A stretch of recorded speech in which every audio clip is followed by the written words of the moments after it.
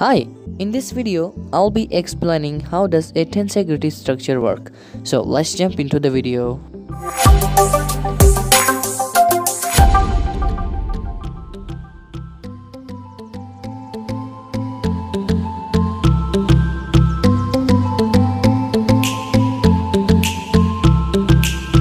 The working principle of a tensegrity structure is pretty simple.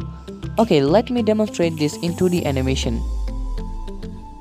It consists of a base with the exact same copy of the base connected with two strings. The upper part of the tensegrity structure wants to go down, but the tension in the string would not let this happen. It is obvious that the left side of the upper part is much heavier than the right side of the upper part. And with some complicated mathematics and physics, it is confirmed that the left side will move down and the right side will move up, stretching the strings and creating tension, which prevents the tensegrity structure from unbalancing. Okay, now let's move from 2D to 3D animation.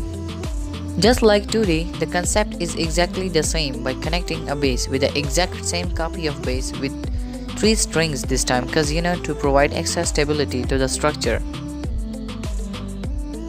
The upper part wants to go down but the tension in the strings would not let this happen. That's why a tensegrity structure is stable. I hope you enjoyed this video. If you still have any questions related to tensegrity structure, leave a comment down below. I'll answer your question.